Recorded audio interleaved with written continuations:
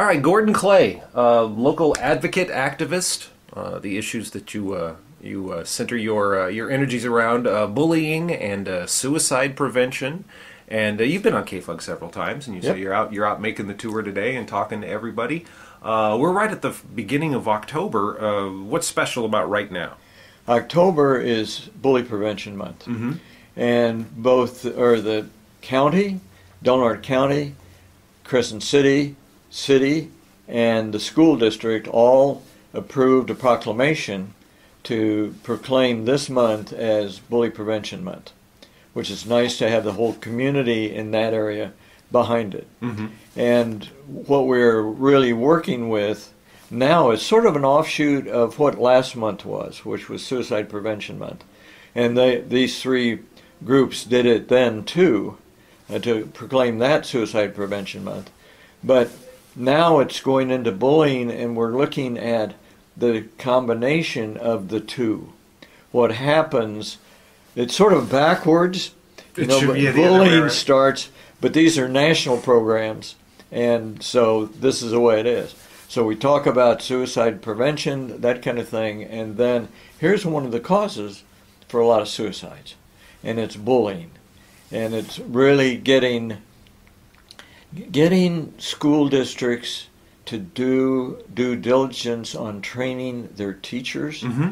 and staff and students to see the signs, see what bullying is. It's a lot more difficult to recognize bullying than it is suicide, and it's still difficult for people to be trained to learn what uh, the warning signs are for suicide. But the about 84% of the bullying that goes on, this is a national figure, is never recognized. And only about 4%, anything that is recognized, anything's done about it. Oh wow. So it's really stepping up. You know, the, the school districts have a lot to worry about, and all the school shootings, there aren't many, and they don't impact many people, and the chance of a school district of having a shooter uh, is really pretty remote, but it's a concern with a lot of people right now. And the thing that I talk about is that's a concern, but you're going to spend a lot of money. It's going to take a long time to make all the schools like prisons so she can't get in or out. In the meantime, what's going on in the school that's not being recognized, that causes long-term damage for kids. And it for both, and I just read this recently, for both the student who is bullied, and that we assume causes a lot of problems long term, etc., and it creates things called ACEs, which are uh, advanced childhood uh, trauma or something like that, things that happen in a kid's life Mm-hmm. up to 18. And I had six of those, so I'm I'm surprised that I survived. But it, it, the big impact we're just finding out is on the bully. Mm-hmm. And they've done long term studies now that the bully is more impacted negatively in society long term, getting into alcohol and drugs, that kind of thing at a higher rate than the, the people that are bullied. So it's, it's really interesting that we've worried about the bullied kids, and I want to stay on them because they're the ones that are dropping out Mm-hmm. or dropping out of school or are really afraid to go from one class to another and terrified to go to the bathroom because in the bathrooms if they are if there's an adult present then it's a safe bathroom and actually I think by law now you've got to have two adults in the room with any children uh, unless it's an open classroom with a lot of people but where there's a chance to have one one child and one adult there needs to be two adults there for support for the kid that nothing's going to happen, but also support for the adult that there's not a false claim. Mhm. Uh, but that we want to get it to where a kid can go down the hall and not have a thought about that and get an education. Yeah, yeah. It's it's it's too bad that you have to worry about so many of these other other things that shouldn't be a part of the experience. Right. But it's interesting too that you're talking about uh, sort of focusing efforts to to to to I don't know approach the the, the mindset of the bully. Right. because the bully too suffers and and leads to you know can be uh, or can lead to other societal ills later on as this person is obviously maladjusted and is going to struggle the rest of their lives to, to interact with other people Right. constructively. That's interesting. Wow. Well, it might not be at maladjusted, okay. but it's one of these things of top dog and the top cheerleader, the, the football player, you know, the big name in the football field, uh, the the leaders in the what would be the business, the guys that go into business, or women and men that go into business, etc. And the really tough thing, of course, with bullying now that you and I didn't have, and we're in totally different generations, but is cyberbullying. oh yeah, yeah. And what would happen? Uh, I was bullied in school. What would happen is it would take days for something, whether it was false or not, to do the rumor rumor mill. I had 483 kids in my senior class, you know, students, and it'd take a long time. Right now, something happens in a class, the kid gets on a break, they send that to all their friends, their friends send it to all their friends, and by the time that break is over, almost well, any kid that had a cell phone and checks it, and a lot of them do now. I don't know if they're outlawed here uh, during the day uh, in Del Norte Unified. I but- don't I don't believe so. Not yet. But Not been yet. talk about that. I think. but the, it's it just spreads so fast, Mm-hmm. and with, with the culture that we've got, where there's so much fake news, and the kids are picking up fake news, and there's no identifier on on the on the fake news is the word that gets spread out. People don't have to take responsibility of putting their name on it. Mhm. So it's not like I told you what went on with Joe. It's like somebody told me, and I sent it to all my friends, and it just it's really it's really scary yeah, yeah. because it it just quickly damages so many lives. Well, what sorts of things can educators or parents or even students do to, to sort of counter that, that culture of, of bullying? The big one is to well recognize it. We've got to recognize it, and uh, according up in Oregon, in California they do a biennial survey on bullying, and I I don't have them memorized here. I've got some stats on that, but in in Oregon uh, they do it every year, and uh, every year with sixth and eighth graders, and on the off year with I mean eighth and eleventh graders, and on the off year with sixth, eighth, and eleventh graders. And in Oregon, it's like 70 to 80 percent of the kids know or see bullying going on and seeing the shaming. There's several different aspects. The shaming aspects, actually violence, and some other aspect. So the awareness of the bullying that's going on with the students, among the students, is very high. Mm-hmm. It's very, very low among the educators Yeah. and this is both in in suicide and bullying.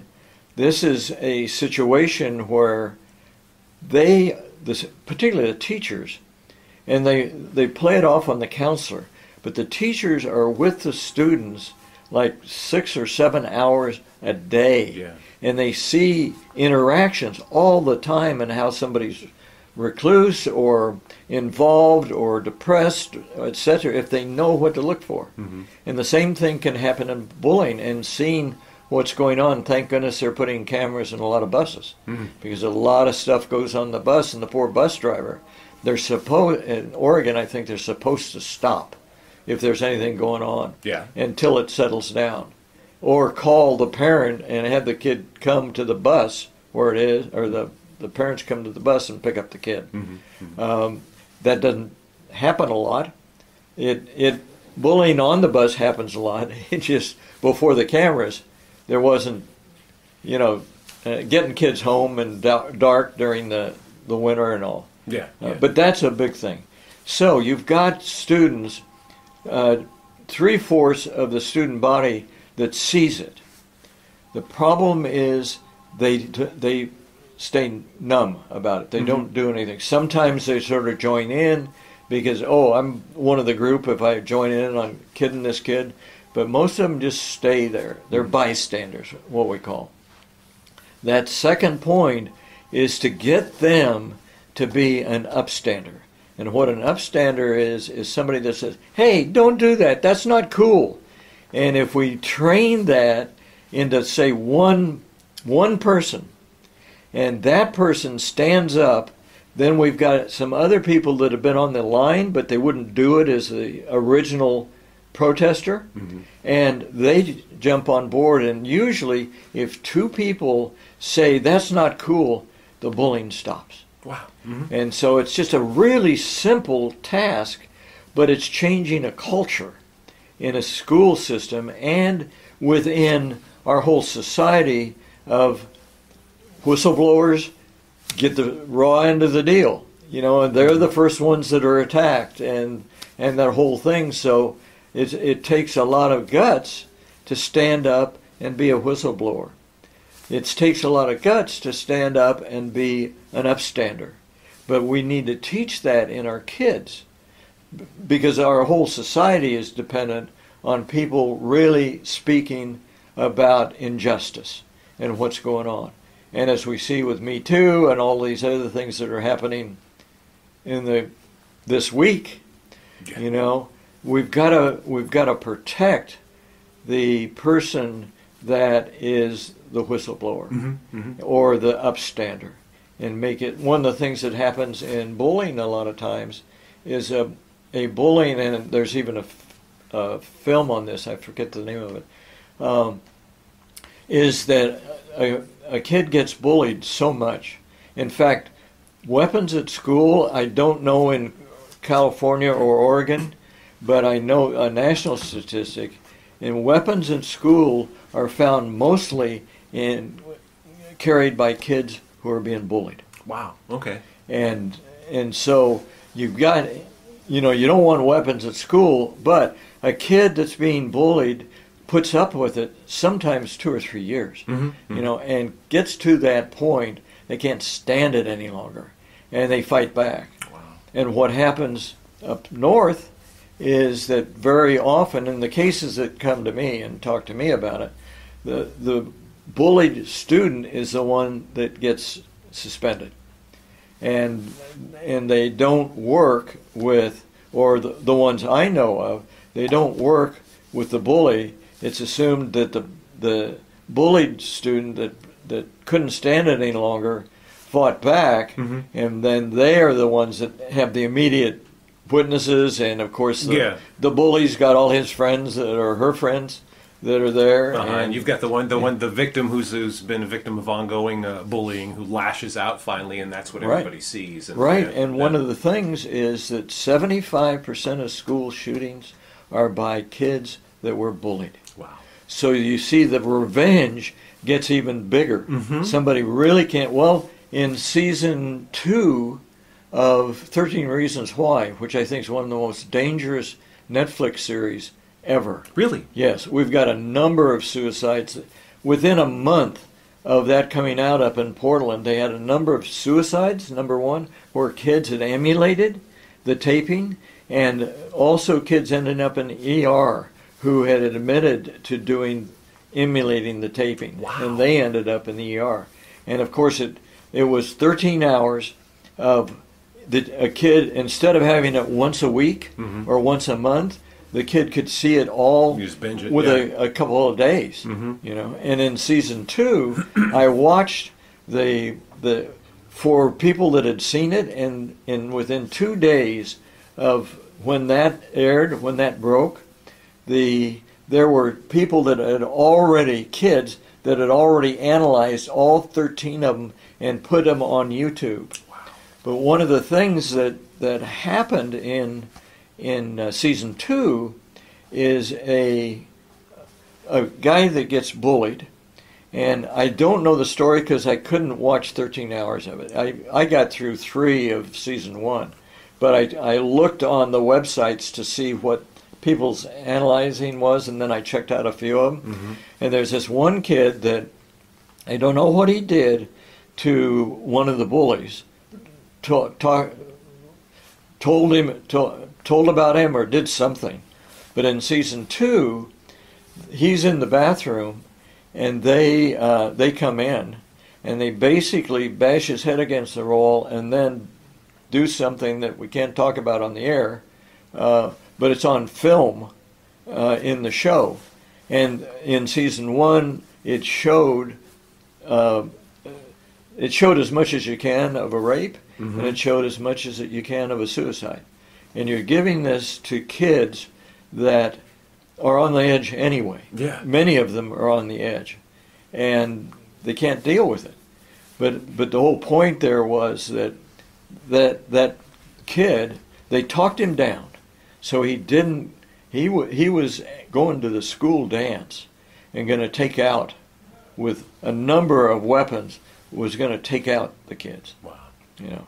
And they t- talked him down. One of the leads in the show talked him down. Thank goodness. But that that is a real true indication of what happens when you know the person that uh, did the Montreal shootings a number of years ago, 14 people, and the woman that drove through the people at uh, McDonald's and all were all revenge issues. And and with our well, I see California. I think is where is it nationally? There. Oh, uh, Trump is actually going to proposes to limit bump stocks, Mm-hmm. uh, high capacity rounds. We'll see if it happens, yeah. but or what. I'll finish on that one.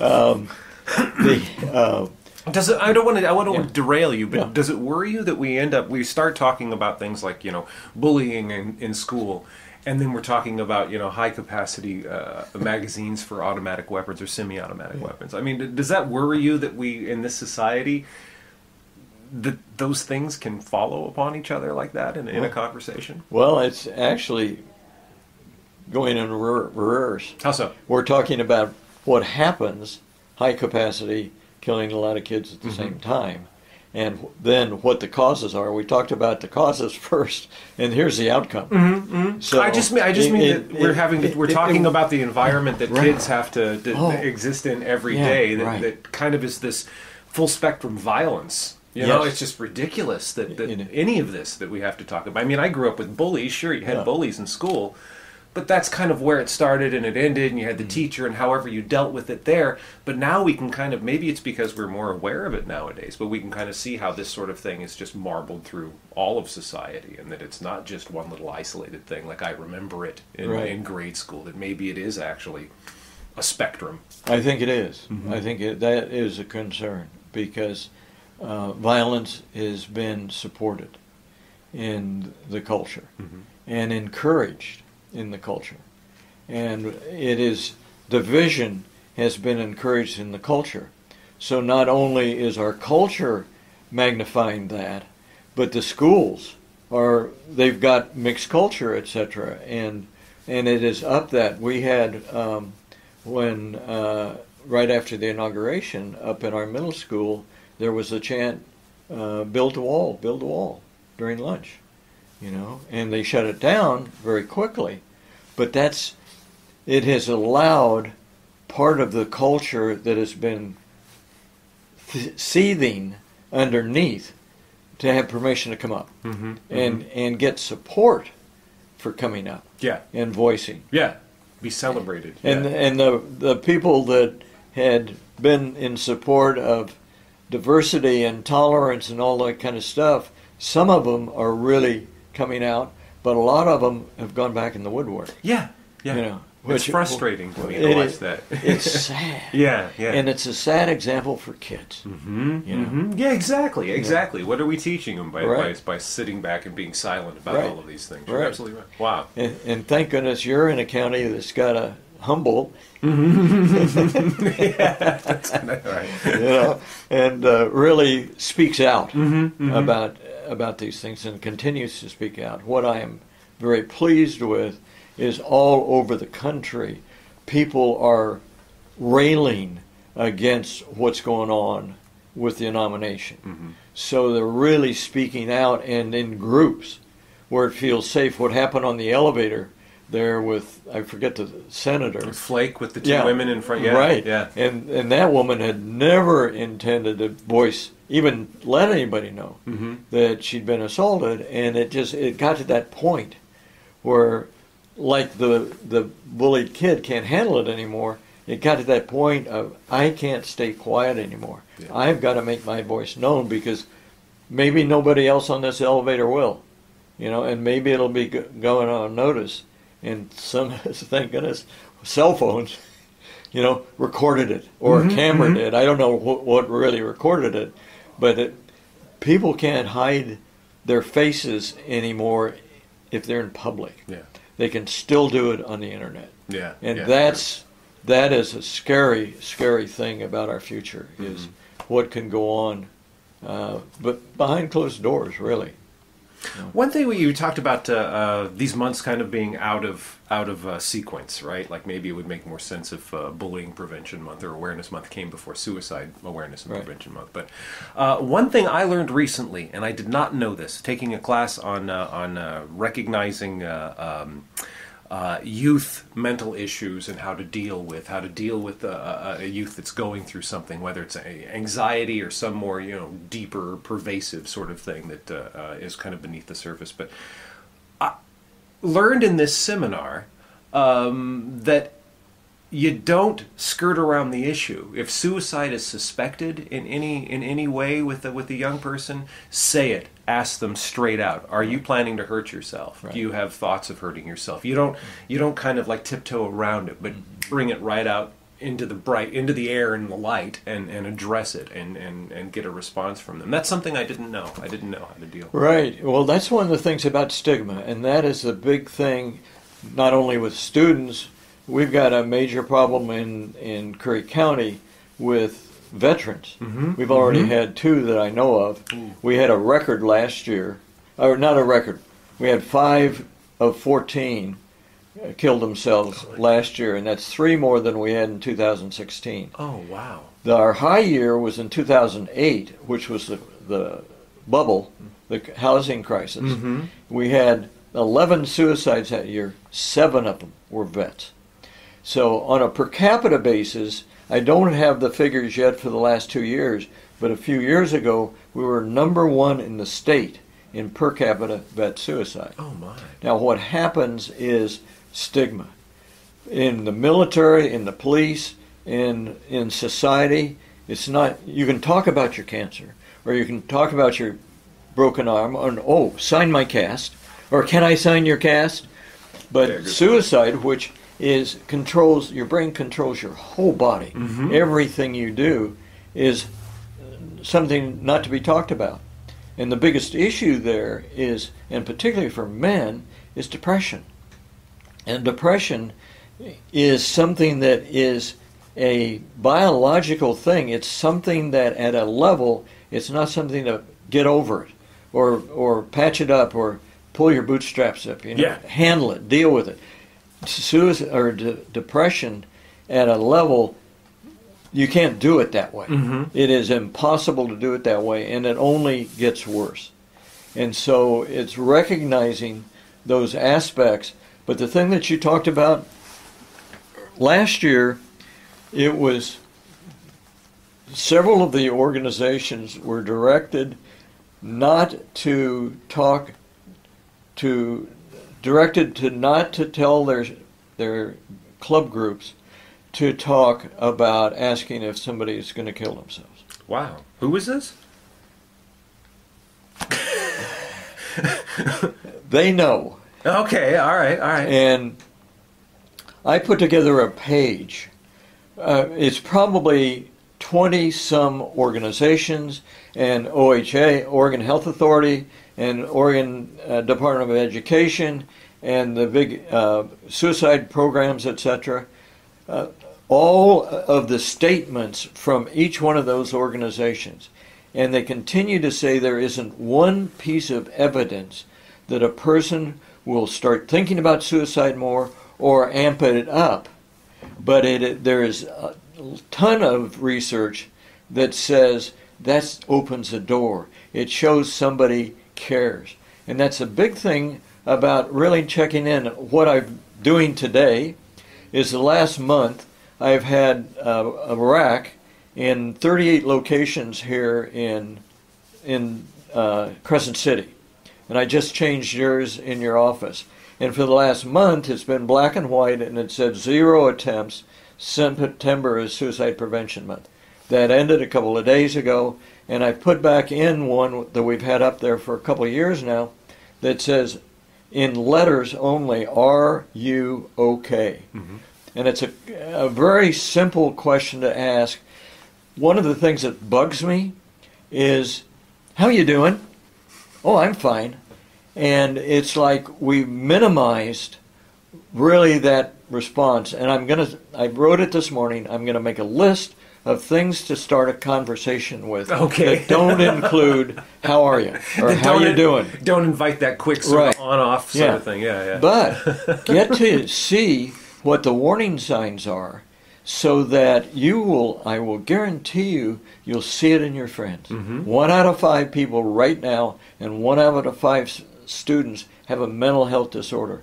And 75% of those start before the kid is 24. Mhm. I think it's 50% start before they're 14. So we can see this happening, but if we don't deal with it early, it becomes ingrained and much more difficult to deal with in the future. Yeah. And so if we really, individuals, you and I, the, the course that you took, I mean, is, is outstanding. And we've got programs like ASIST and Mental Health First Aid and a number of different programs Mhm. that people can go to and sign up, and some of them are free. You know, to really see what the signs are so that you can not be a bystander and notice this in your friends and possibly even in your own family members. Mhm. That you see them all the time, that looks like a, a normal behavior.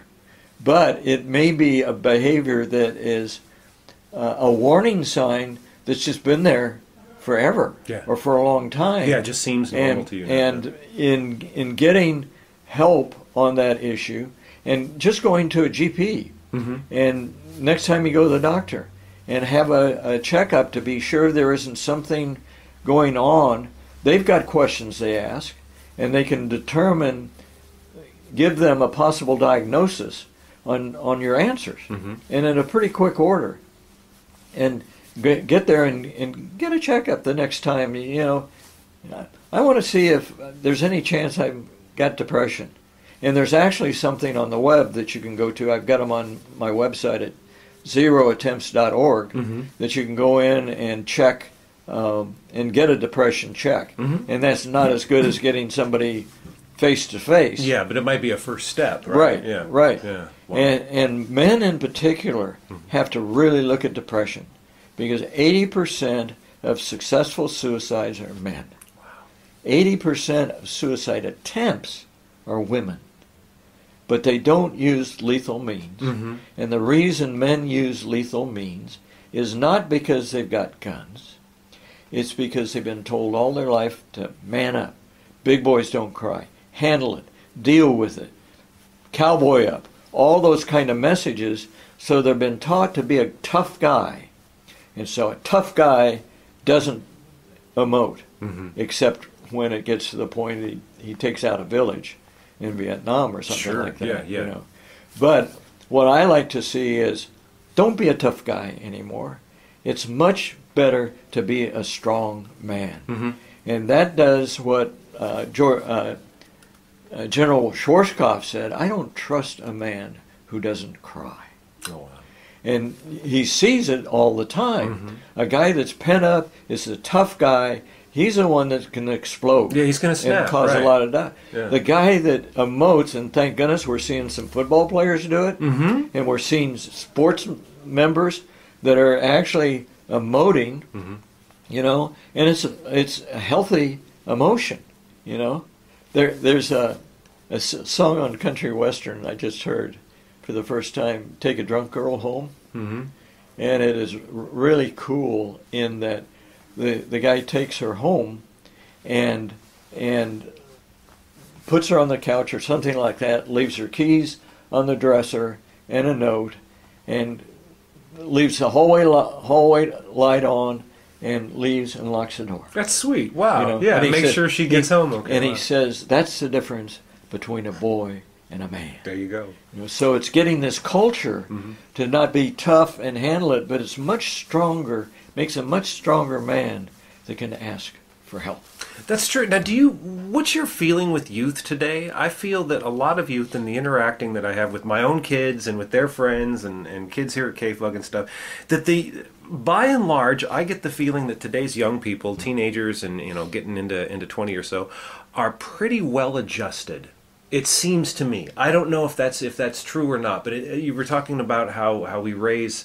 Uh, we raise boys to, to sort of hold things in, and I was certainly raised that way. It doesn't seem like kids are raised that way anymore. That there might be something happening with young people, and I see it with their gender awareness, with their with their social awareness, that there might actually be a change happening generationally. Do you feel that, or am I imagining that? You're not imagining it. Okay. And it's it's a transition. I uh, put together a group, uh, Fathers Network, back in 1974 when I got a divorce and found out that my wife wanted me to raise our eight-year-old daughter, which I did.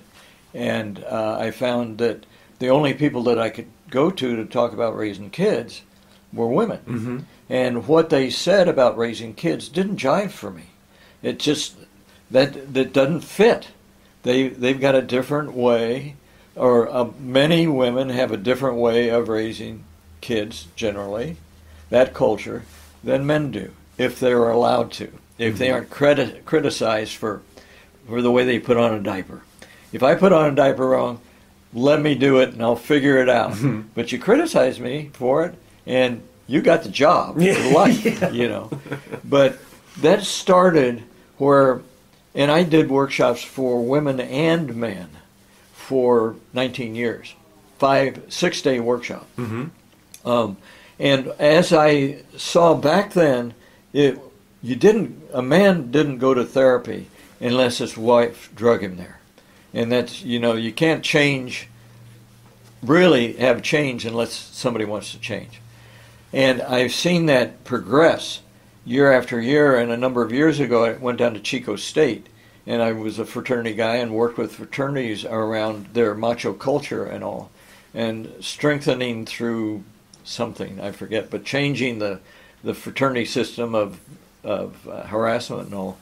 And I'd see the guys, you know, arms around each other and that kind of stuff, and the jock fraternities. And there was a, a breaking down of this stay straight, don't touch, don't hug, hug.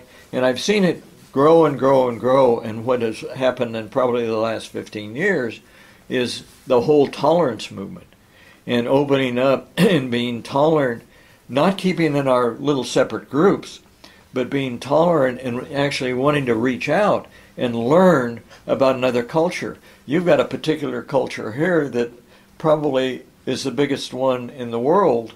I mean, in the United States. And I don't know that as a fact, but the, the Tong culture, the Asian Oh, the Hmong. Hmong. Yes. Hmong. Mhm. And I, I, I'm actually going to be at the national, uh, binational uh, health fair tomorrow Mm-hmm. here. And a couple of years ago, they performed, and I got to talk to them.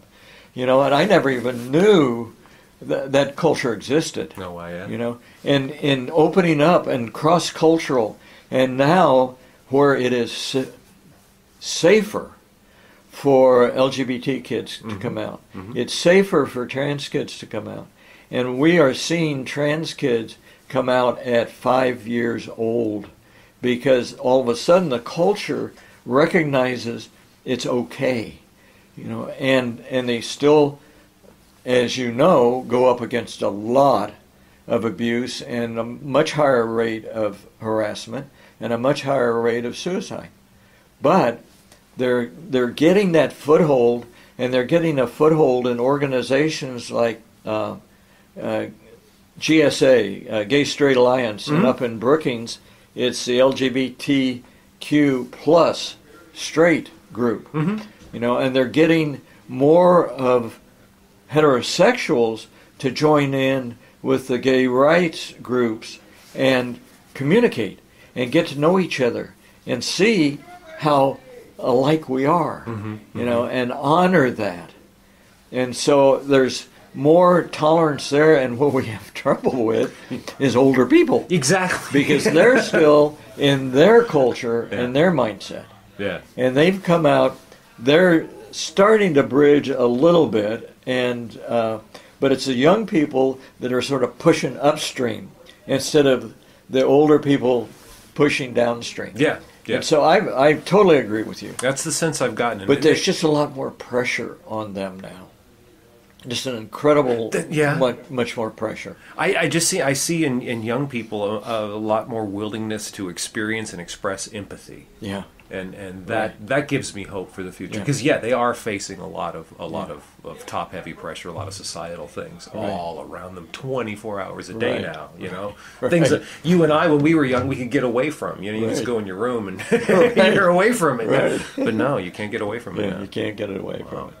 So, uh, just really quick, how did you get into this? I know we've had this conversation before on Yeah. KFUG, but I've forgotten. How did how did you come to be a and and also at some point I would like to hear more about being a, a single dad in the seventies Oh. because you were in no man's land basically back then, weren't Be- you? Before uh, Kramer versus Kramer. Yeah, and Mr. Mom and all of that stuff. Yeah. Yeah. wow, wow, that's Yeah. something. That's got to. Well, what was your first question? uh, just about how did you get into all Oh, to, to the to the advocacy and, and doing what you do? Well, divorce. Mm-hmm. And uh, I, my wife, did not want. She went to college on what we call the MRS degree, Mhm. Okay. and and and that was at Stephens and Mills and all of those w- big women's colleges were basically teaching a woman how to be a very knowledgeable wife.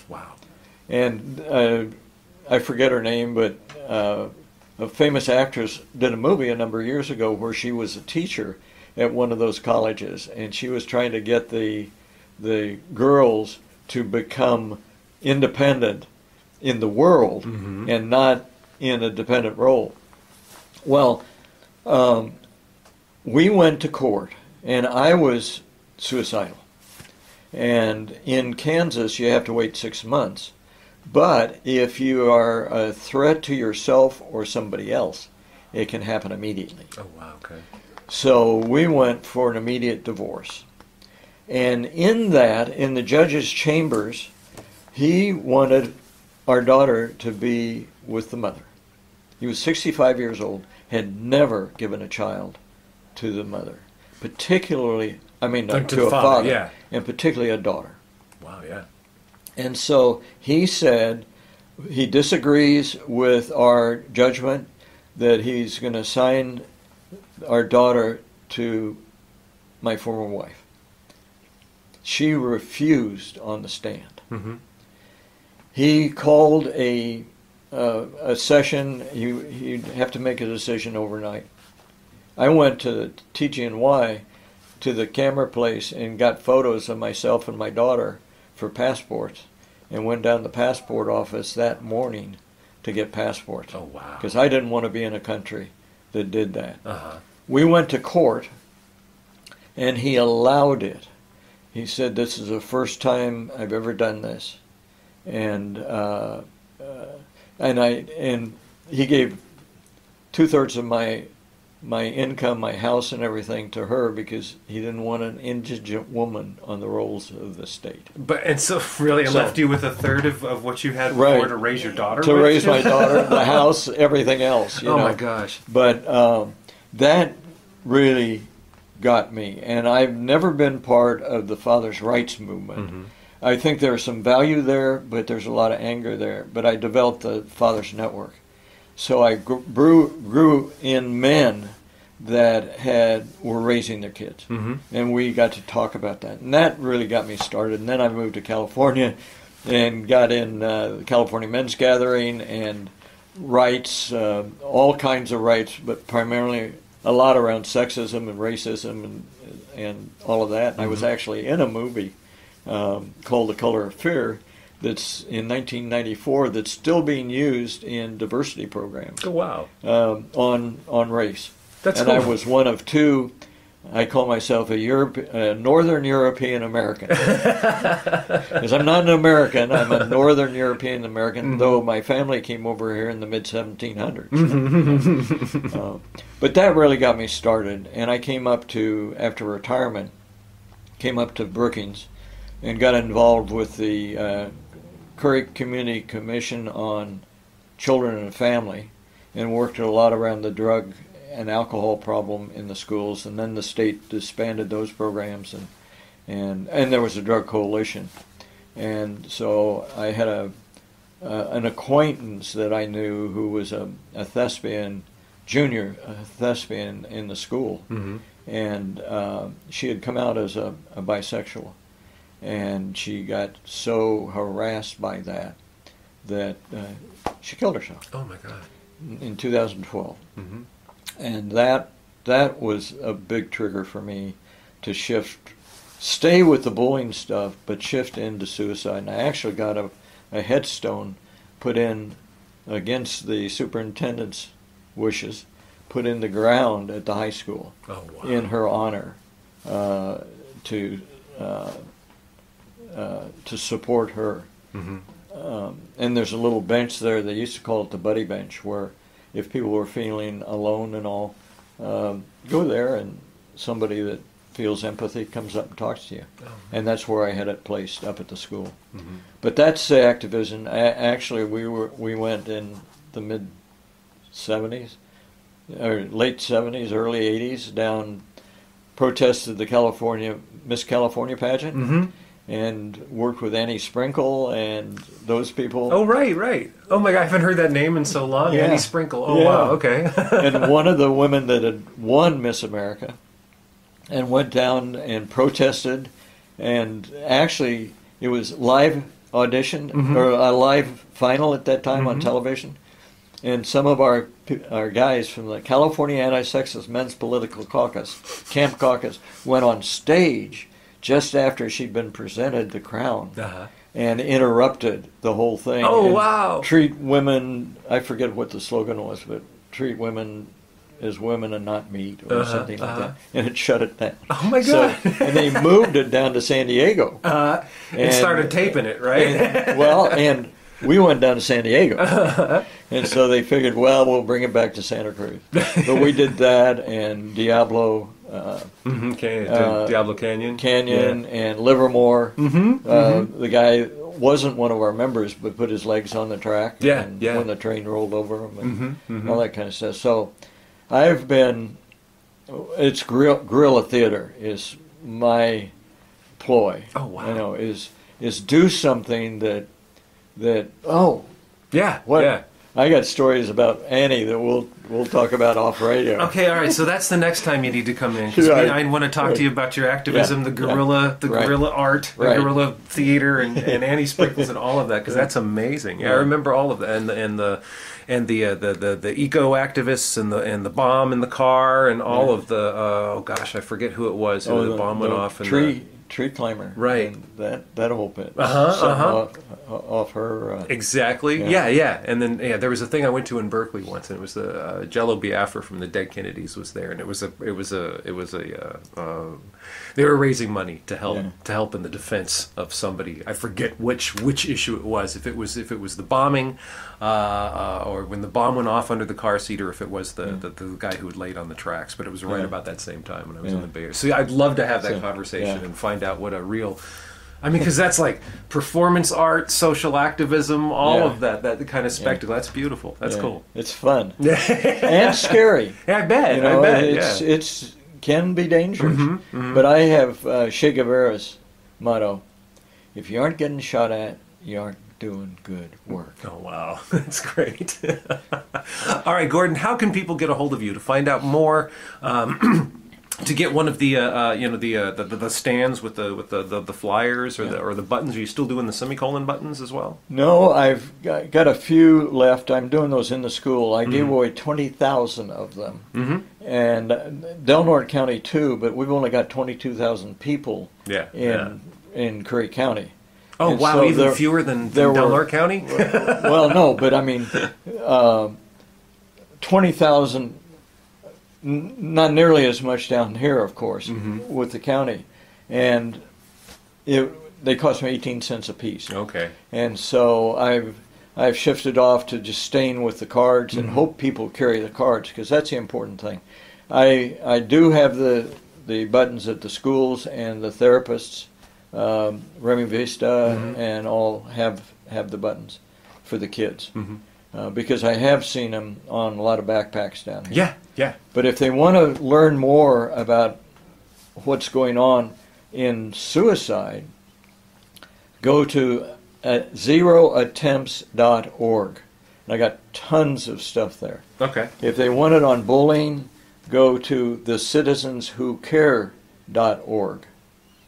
And if you want to get in touch with me, go to zeroattempts at AOL.com. Okay. All right. So just basically through the through the two websites Right. is best to get great. Right. Gordon, thank you. Is there anything that uh, that you wanted to get out and uh, and had been talking to the other radio stations and everybody about that we didn't touch on today? One. Okay. Well, there's lots. I bet. We, we could do a, a 24 hour marathon to raise money for KFUG. There, there you go. All right. 24 hours, huh? All right. I'm going to need to make a pot of coffee. Uh, I don't do coffee, but I'll figure it out. I'll do your coffee for I, you then. I only I was up at 2:30 this morning. oh my so gosh. I get about five hours sleep.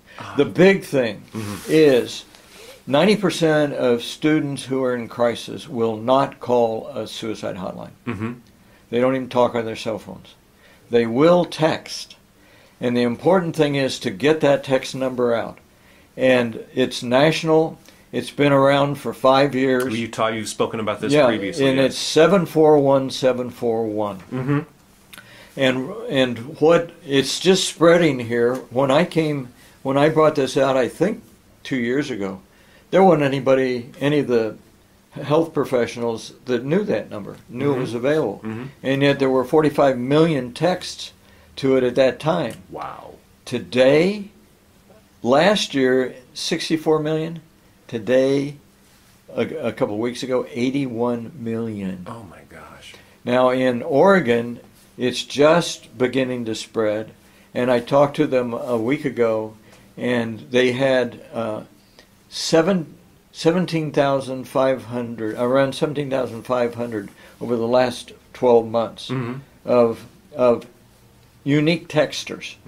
So that's quite a bit Yeah. because adding that up, I, I So that's not didn't do the math. 17,500 texts, that's 17,500 people. Yeah, Wow. In- Okay. individuals. Yeah, that's wild. and that that is big. Mm-hmm. Uh, the others, the 81 million is texters. okay. But that's only in five years. Yeah. And it's confidential, 24 hours, etc. One other quick thing for law enforcement.